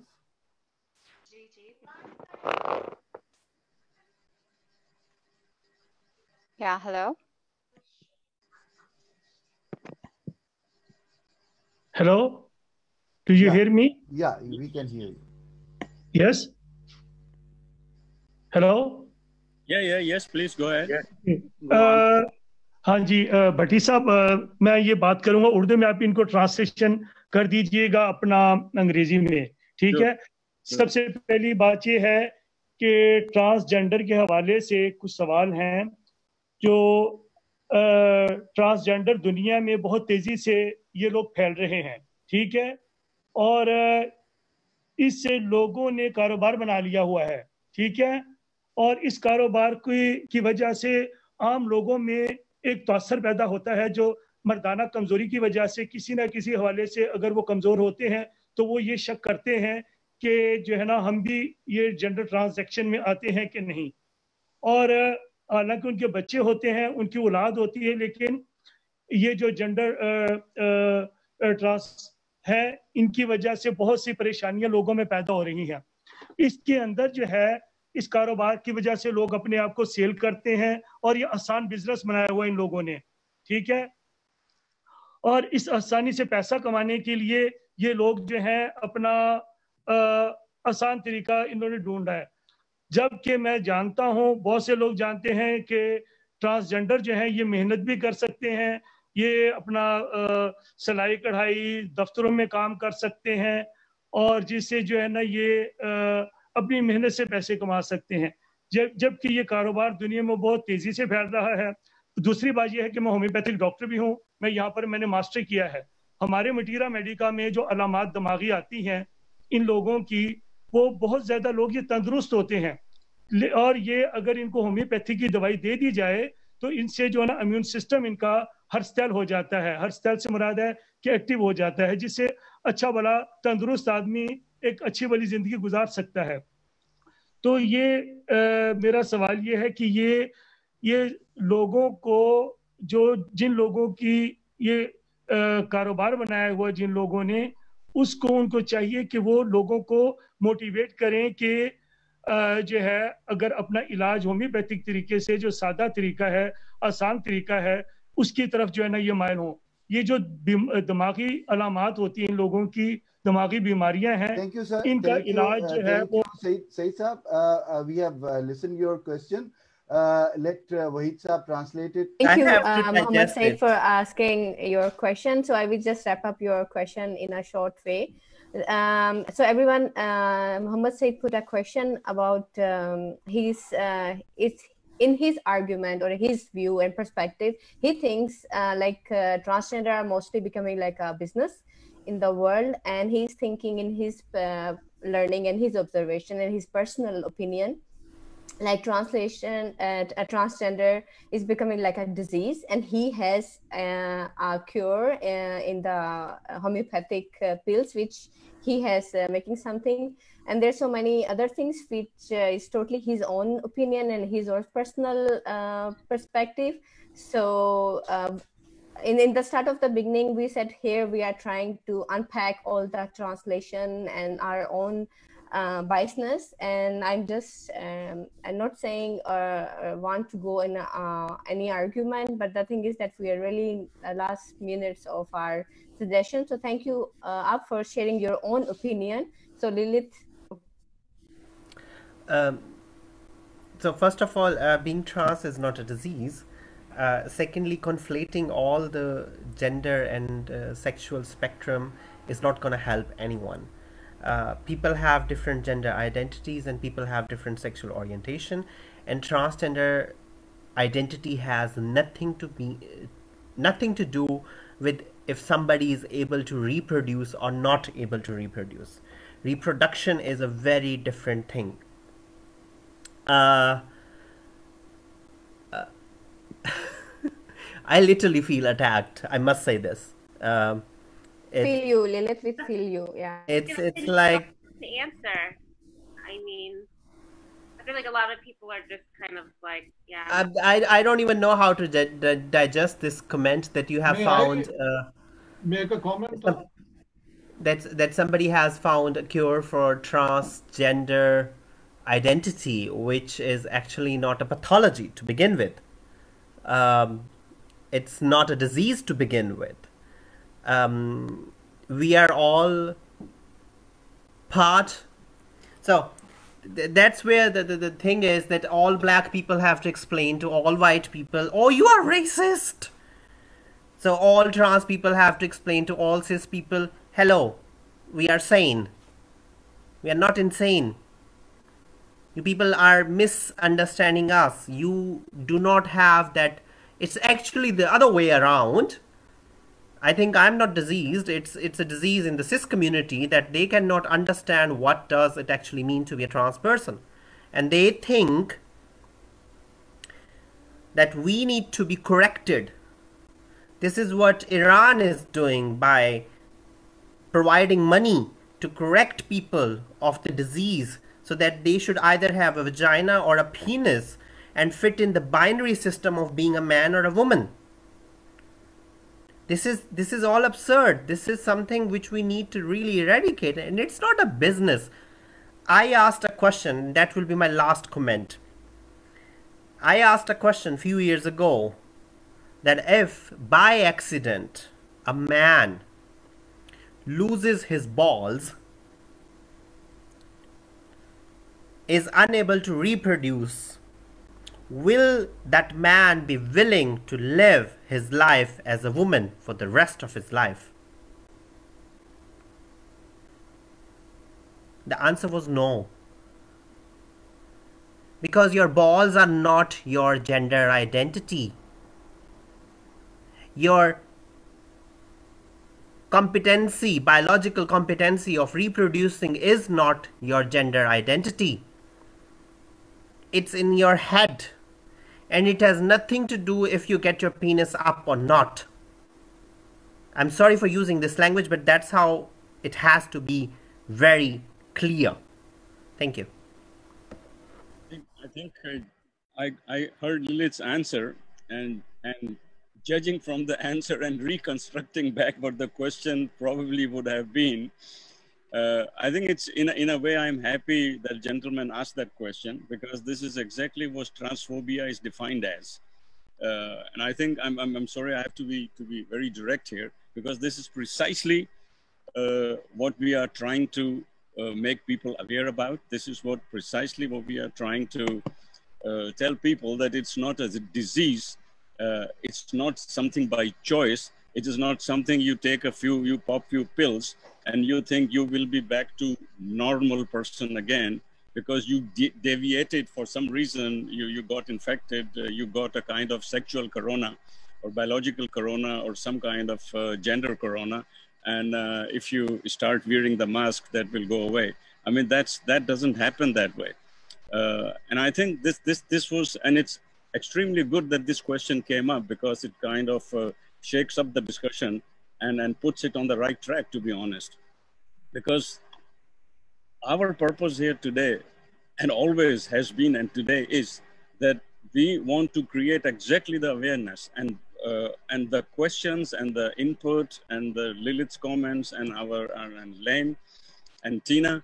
And I think I am shaken to be honest.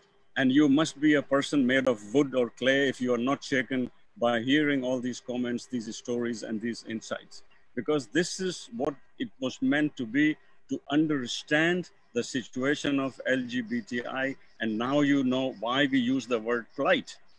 And this is exactly what it comes down to be because if there are people who don't see them as normal human beings, as that gentleman said that cats never say your skin of uh, your skin color or you have stripes and I don't. And, and this helps us to understand the lives of uh, LGBTI people and their traumas. Uh, we have to challenge these norms. We have to have this debate. We have to open up. We have to talk with everyone with dignity. And, and as, I, as I said in the introduction, while preparing for this dialogue, when we met several people and many people from LGBTI, uh, it shook us up. I mean, many things we, we unconsciously, we, we, we are progressive, we pretend to be progressive, but sometimes we don't even know what we are talking about. So gender identity here really in, in, in our view, in, in uh, OPP and in Women Connectors view, is really is not up to others to decide that hey i am i am come to you as a doctor you are a doctor and, and cure me for this. No um, and we cannot put a stamp on anyone what gender he or she must have or what gender identity a person should have. It's a person herself or himself or everything in between to decide what they want to be. And we got to respect that. And we got to respect that with dignity. And the more you get engaged with these people, the more you talk to LGBTI people, the more you will feel that they are more than normal. Come on, man, not just normal, more than normal. They are wonderful people. And, and I am so happy that uh, in this life we met a lot of uh, LG, uh, LGBTI people and they have enriched our knowledge, our lives, and our experiences. And on this note, I would like to yeah, uh, here uh, Dr. Ishtiaq and uh, Dr. Lashari and Bashir Said, they would be, uh, they have raised their hands and. Um, yeah, sure, sure, of course, of and course. later we, we can close. It. Dr. Saab? Or two doctors we have now. Uh, Dr. Ishtiaq, uh, can you please unmute your? Yes, yes. Yeah. I've, I've done it. No, I think this was a case of transphobia it is good that uh, Mohammed Saab presented his views, which are brutal, but that's how I think a very vast majority of people think. And in a way, he brought to the table what we intellectuals trivialize the reality of society and our ability to transcend uh, those things and believe that because we have become aware, this world can be changed easily. I have, you know, when I was teaching human rights uh, in Pakistan, I used to give assignments to my students, you know, for a short assignment, and two of them, a girl and a boy, chose to do, uh, write on transgender, and both came back with shocking evidence. I mean, I've gone through life with so many shocks that even I found them uh, unpalatable, the things I, I learned. But what I was told was that at least those who are biologically different, the, the families themselves give away the children. They don't keep those children in the family. They are given away to these communities. I think Dr. Dixon will have to uh, uh, uh, uh, confirm what I'm saying because I had a paper, two papers written on it, and both concluded. And the second thing was that from their findings, it was only men who were transgenders. So women transgenders in Pakistan probably have it far more difficult to come out and, and speak about the problem. But what happened to these transgender men? They are given away by their families and nobody wants to rent house, houses for them to, to live in. So they have nowhere to go. And we found evidence which is shocking, you know, about how religious people abuse it. I'm sure others can do it too, but this was the examples I learned. For example, there was one Haji Saab has a shop on Beadon Road. I went there just to look at him. Uh, big name, very pious and all that. He rented out a three-story building to the transgender. Uh, Thank you, Mr. uh, Sorry, we have to wrap up, so I really request. Yeah, yeah, just a moment. Let me speak. Uh -huh. So just a moment we need the counter evidence to say that this is not uh, something which people are doing as a business. What is the reality? So the thing is that uh, uh, uh this Haji Saab rented out the house to these people and then married with children. He would come in the evening and sleep with these uh, men also as a part of his own, uh, you know, that he was the landlord. So, I mean, so severe is the persecution of uh, uh, transgenders in Pakistan. And I was not charmed when I heard uh, Lilith talk about Ram and uh, his statement on. Uh, I, I, I'm, I find religious, uh, you know, references very, very, very, very irritating because Ram is the man who let his wife stay in the jungle for 14 years on a mere suspicion of her infidelity. So if he made any such chance statement, it's no reason to believe that we have this tradition from there anyhow. So I, I and and somebody was saying that we should go to the Sharia and see if we can apply that. No, sorry, you have to have a secular, democratic, pluralist society as your framework in which you can do all these things. After all, Europe, you know, Australia, Canada, New Zealand, only in the 70s abolished the race laws. So nobody who was non-white could emigrate, you know, with all the normal sort of uh, background in his baggage. So this is a very recent thing that societies are learning how to handle, you know, uh, uh, uh the plural, the, the pluralism which constitutes the world. And transgenders and the rest, they are on the margins of society. We have to bring them in. So I think I will end there. Yeah. yeah.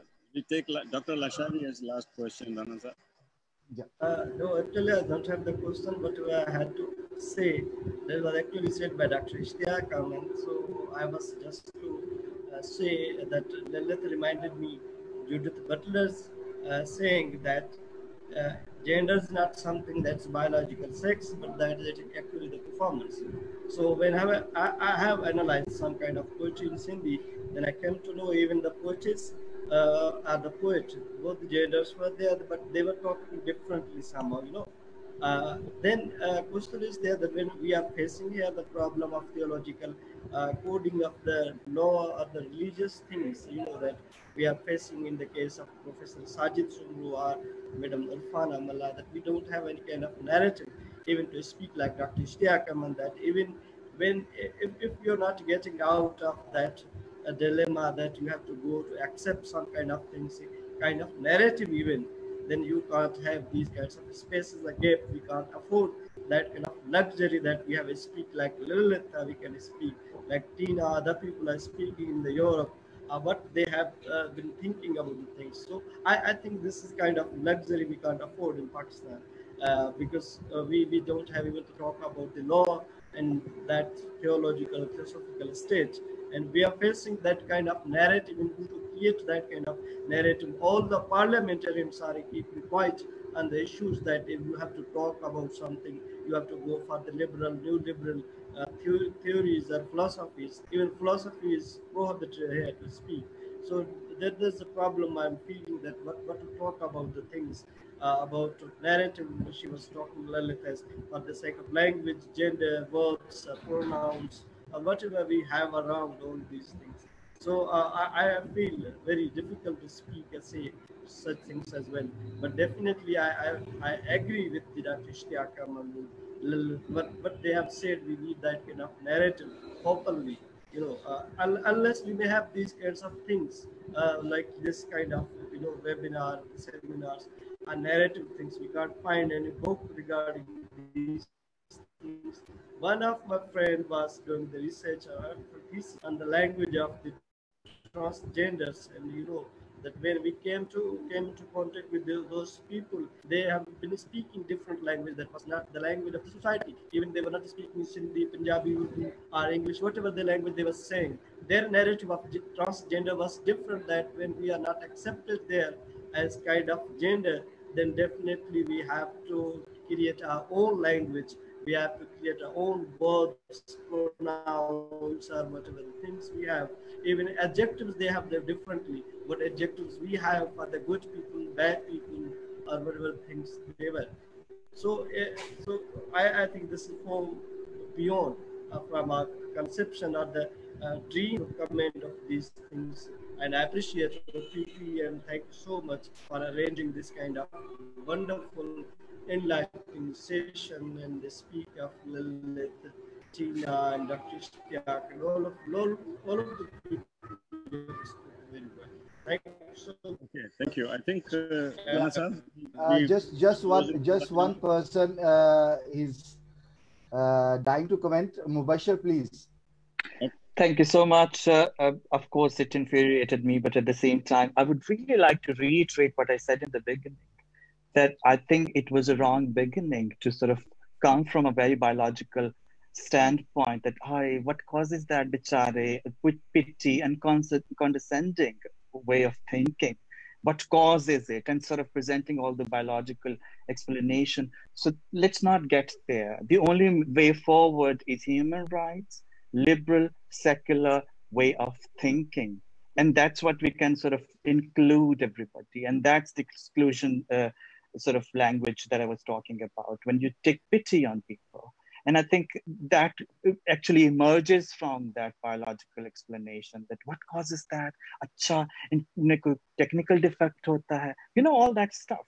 So let's please not get there and let's start from a human rights perspective. I would really like to sort of okay. reiterate. And of course, we are learning through this process and this is for the future conversations no, through this platform or any other. Thank you very, very, much. It's a very, very good, positive uh, comment uh, to conclude, I think uh, absolutely agree with you.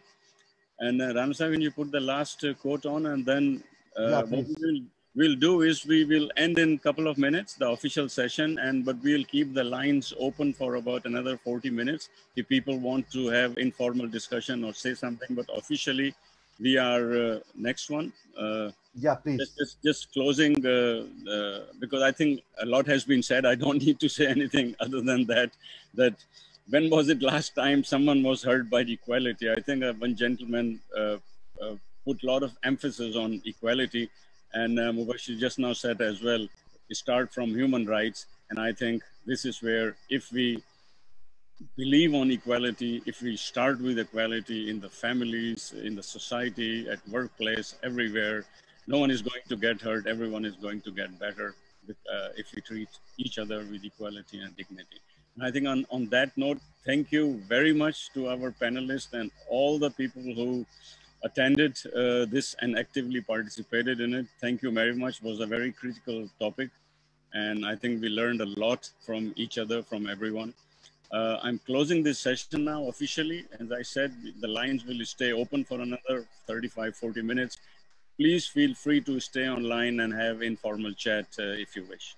Thank you very much. Thanks. Thank you all.